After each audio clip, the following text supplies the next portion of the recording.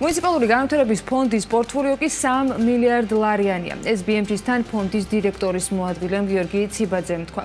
ის ამბობს, რომ ფონდის დაფინანსება ბიუჯეტიდან ბოლო წლებში იზრდება, რაც ნიშნავს იმას, რომ სახელმწიფო უფრო ნაკლებ სასესხო ვალდებულებას იღებს პროექტების განსახორციელებლად. რაც ძირითად პროექტებზე მუშაობს დღეს მუნიციპალური განვითარების ფონდი და როგორ ნაწილდება 3 მილიარდი ლარი მიმდინარე პროექტებზე. ანუკა ჯოხაძე გვერდება თემის დეტალებით საქმის კურსის ეთერში. ანუკა, მოგესალმებით ეკისმენთ. ანა საბავშვო ბაღების ტურისტების რეაბილიტაცია, მშენებლობა, რეგიონების განახლება და ტურისტული ლოკაციების მოწესრიგება ეს ის ძირითადი მიმდინარე პროექტებია, რომელზეც მუნიციპალური განვითარების ფონდის დირექტორის მოადგილემ ჩვენთან ისაუბრა და ამ მემართულებით განმარტებები გააკეთა. გიორგი ციბაძე ამბობს, რომ 600 მილიონი დაიხარჯა ჯამურად განახლებული რეგიონების 4 წლიან პროგრამაზე, რომელიც ყოფილი პრემიერ-მინისტრის ირაკლი ღარიბაშვილის ინიციატივით დაიწყო ფონდის დირექტორის მოადგილის განმარტებით. პროგრამა დასასრულს უახლოვდება და სამუშაოები მის ფარგლებში მიმდინარე წელს დასრულდება. ტურიზმზე როგორც მოგახსენეთ არის 1 მილიარდი ლარი პირველ ეტაპზე ასევე განახლებული რეგიონების მიმართულებით რომელიც ასევე 63 მუნიციპალიტეტში გულისხმობს. ტურისტული ლოკაციების გალამაზებას და აღდგენას.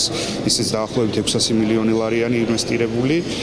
ბაღებში მილიარდ 300 მილიონი ლარია. შესაბამისად ახლა დღეის მდგომარეობით ფონდის პორტფოლიო დაახლოებით 3 მილიარდი ლარია რომელიც მიმდინარე კონტრაქტებია განახლებული რეგიონების პროგრამა ფაქტიურად დასასრულს უახლოვდება. ყოველ შემთხვევაში ის ფაზა რაც იყო თავრობის მიერ დავალებული, რაზეც 600 მილიონი ლარი უკვე ინვესტირდა, წელს დასრულდება განახლებული რეგიონების პროგრამის ის პირველი ფაზა.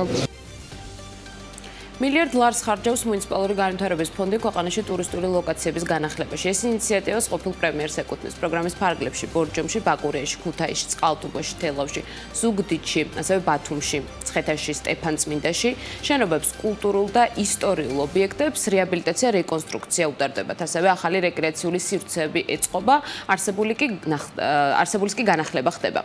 მუნიციპალური განვითარების ფონდში აცხადებენ, რომ 11-დან 10 ლოკაციაზე შესაბამისი კონტრაქტები უკვე გაფორმებულია გადაღებულია, დარჩენილია მხოლოდ ბაკურიანის განახლება, რომელზეც 135 მილიონი ლარის ღირებულების ტენდერი უახლოეს მომავალში გამოცხადდება. დაახლოებით 1 მილიარდი ბიუჯეტი არის ამ პროექტის პროგრამის ღირებულება. 11 ყველაზე ტურისტულ მიმართულებას მოიცავს, საიდანაც 10 მიმართულება უკვე დაკონტრაქტებული არის და აქტიური სამუშაოები ძირითადად ყველგან უკვე მიმდინარეობს, ხოლო ბაკურიანის წრიულზე ჩვენ ძალიან მალე გამოვაცხადებთ ტენდერს და ბაკურიანიც მნიშვნელოვნად გალამაზდება და მივიღებთ ბევრად უფრო მაღალი ხარისხის კურორტს, ვიდრე დღეს დღეისობით გვაქვს ჩვენ რეალობაში. ბაკურიანის ტენდერში გათვლილი გვაქვს ჩვენ რომ იქნება 135000 135 მილიონი ლარი. ეს არის რეალურად წრიული მონაკვეთის რეაბილიტაცია, სადაც სხვადასხვა ინფრასტრუქტურული ახალი ობიექტები დაემატება, იქნება სავარაუდოდ მიწისქვეშა პარკინგი.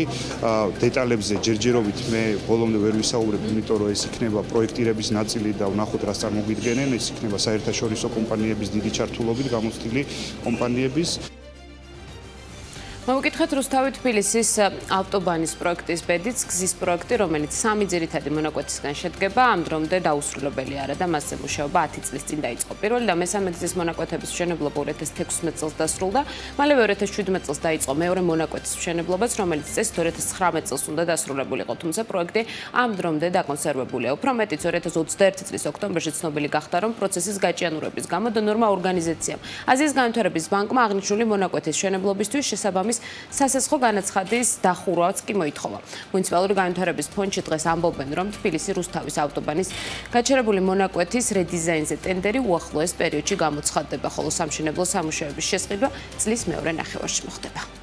იყო ძირითადად სოციალური პრობლემები, რის გამოც ეს პროექტი იყო შეჩერებული წლების განმავლობაში, თუმცა ახალი დადგენილები და დავალებით ჩვენ გამოვაცხადებთ ძალიან მალე უკვე ტენდერს რედიზაინზე, ანუ დაждდება იგივე მოცემულობა თუ შეიცვლება მაგას უკვე საპროექტო მოცემულობა გვაჩვენებს და ამის შემდეგ წლის მეორე ნახევარში უკვე ვფიქრობთ სამშენებლო ტენდერის გამოცხადებას. მოსახლეობის პრობლემა სავარაუდოდ მოგვარდება და გვაჩვენებს ის პროექტი, რასაც ჩვენ მივიღებთ და რასაც მოგცემს რედიზაინი, იმიტომ რომ ეს აუცილებლად მოსახლეობასთან ერთად იქნება გავლილი. პროექტის განხორციელების გაჭიანურებას და შემდგომ უკვე შეჩერებას ინფრასტრუქტურის სამინისტროში მოსახლეობას აბრალებდნენ მთავრობა ვერ შეთანხმდა მოსახლეობასთან, რომლებიც ითხოვდნენ არსებული ტერიტორიიდან გასახლებას, რადგან ახალი ავტობანი მათ საცხოვრებელ სახლებთან ძალიან ახლოს უნდა აშენებულიყო, რაც საფრთხეს უქმნიდა ისედაც ავარიულ შენობებს. როგორც ჩანს, ჯერს მოსახლეობასთან შეხვედრები არ დაწყებულა. რუსთავი თბილისის ჩქაროსნული მაგისტრალის 10 წლიანი მშენებლობის ისტორიაზე და არსებულ სტატუსზე უფრო მეც დღეს საქმის კურსის შემაჯამებელ გამოშვებაში მოგიყვებით, ასე რომ დაგველოდით.